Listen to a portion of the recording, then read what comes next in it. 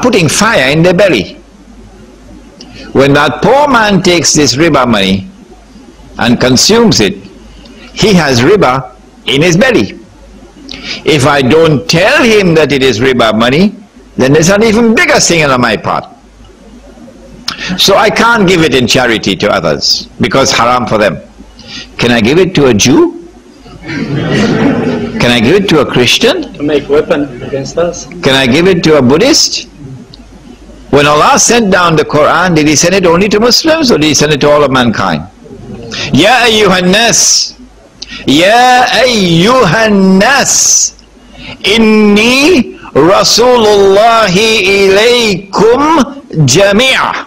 O mankind, I am the messenger of Allah sent to all of you, all of mankind. So the prohibition of riba applies to all of mankind. Well, and if I can't give it to anybody else, what can I do with it? I cannot keep it myself. I cannot give it to others. And I don't have a chance to meet with a jinn. So what do I do with it? I'll tell you what I would do with it. I will invite all my family members, particularly the young ones, particularly young ones, and I'll give them a lesson they will take with them all through their lives. I will first tell them very simply the story about riba, and then I'll tell them about this money. And I prefer to do it in the night time when it's dark. Hmm? Yeah. Then I say, all right, children, sit down. These are $10,000 here. See what Abba is going to do with this. I then get some matches, put some kerosene, and I burn it. These children and these family members will have this etched in their hearts until the last day. They will never, never, never forget that day when Abba burnt the money before their very eyes. The only one who won't be able to sleep that night is the banker. The banker. I don't think that there's any prohibition against auctioning, except that the Prophet said, he cursed he cursed the one who is planted there to bid up the price. He is not himself interested in buying the article. He only wants to bid up the price. So he's planted there to bid up the price. The Prophet cursed him. Once you don't have that, I'm not aware of any prohibition against auctioning. What else? bargaining bargaining لا تأكلوا أموالكم بينكم بالباطل إلا أن تكون تجارة عن تراد منكم Do not consume each other's wealth unjustly. Rather, conduct business in such a way that there would be mutual satisfaction. So when bargaining, hmm, bargaining should be conducted in such a way that at the end of the transaction, you arrive at a price with which he is happy and you are happy. My motor car needs to be repaired. So I go to your garage and you fix a price for me. Hmm? And I bargain with you and I said, okay, we now arrive at a price. And then you fix the car and I pay you. And I go home and I'm happy with the job that's done. Because this is a transaction in which you are happy and I am happy. When my motor car needs to be repaired in the future, I'm coming back to you. Even if I leave this district and I go to live 50 miles away, I still want to come back to you with my motor car. But if my motor car needed to be repaired and all that it needed was a fuse to be changed, that's all. And a fuse is 50 cents. And I go to you and you tell me, Sheikh, the transmission is bad. and this job is going to take, going to cost you $500 and it's going to take a few days to repair.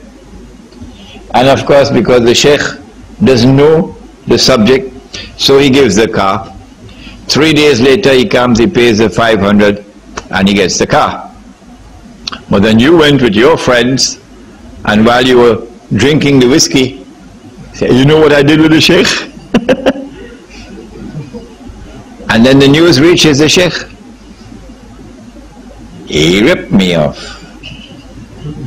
Would you ever want to go back to him? No. No. The minute you know, the minute you know that this was a transaction in which you were deceived, you were ripped off, you would never want to do business with that man again. Never. You wouldn't even want to shake hands with him again. So the principle involved in bargaining, the principle involved in setting a price is that there should be mutual satisfaction. Islam has not fixed any price, no. But Islam has fixed a norm of mutual satisfaction. Shall we have one more question? Is that a reference to Muslim to Muslim dealing or The market does not recognize a Muslim from a non-Muslim the market does not give to a Muslim any special privileges to which a non-Muslim is denied. If a Hindu is in the market, the Hindu can make more money and the Muslim may make less money. Hmm? So long, so far as market price is concerned, and so far as business transactions are concerned, the market does not discriminate between a Muslim and a non-Muslim. All that Islam does is to establish and to sustain a free and a fair market. Whether you're Hindu or Muslim or Jewish or Buddhist, you go into the market like anybody else. And if Allah chooses to give you a profit, you get a profit. If Allah chooses to give you a loss, you suffer a loss. Listen, we have a lot of questions. Let's take one, two, three, and we end. Okay? And the Sheikh. And three more and we end, okay? It's quarter past eleven.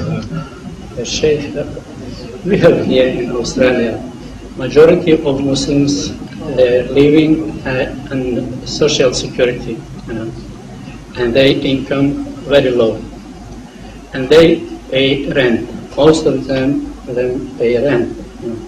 A rent uh, maybe weekly two hundred dollars, you know, two hundred dollars, and they pay rate for all life if they don't take any any money from from bank or from from other men, but this men want money only by interest.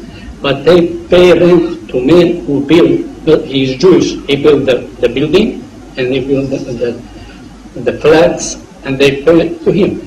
And this rent never be their money again. But if they, from same Jews, take take uh, the interest and the, uh, the loan, the, the, the flat one day will be there, the flat. Uh, I think, I think, but Allah, those people, but those people enforced to do this by by kings from Islamic states because they put their money in the America, in the Western banks, and they, if they're doing Islamically or Muslim will be benefit from this, will benefit from that. But now, I think these people, these people is we can put him on the uh, stage of, the situation of ruling. Then now in this state, as minority, as minority, but poor people, because they, they come from uh, without anything in this country, and they pay in this, and rent, and they never will pay uh, their money. But the flat will be sometime there. And they will survive their children and give this to their children to inherit this, this flat in our interest. And this situation really for Muslims in an Islamic state very, very hard, very, but Allah subhanahu wa ta'ala is no better than, than us. All right. The Sheikh has not asked a question. The Sheikh has differed with me in the opinion which I have expressed. All right? Uh, I never came here to try to convince anyone or to stop anyone from borrowing money and interest to buy a flat. No. Allah has not given to me this job. If anybody wants to borrow money and interest to buy a flat and use whatever reasoning or argument he wants to use, he has the freedom to do so. What I have done is recorded in my book. What I have done is to teach the subject.